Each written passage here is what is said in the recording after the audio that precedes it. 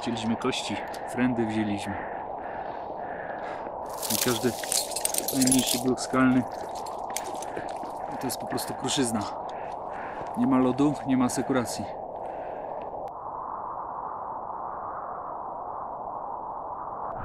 Pierwsze polskie wejście na pik, pik Piramida 4816. Tyle mi pokazuje GPS. Muszę schodzić, bo się pogoda psuje i to bardzo szybko.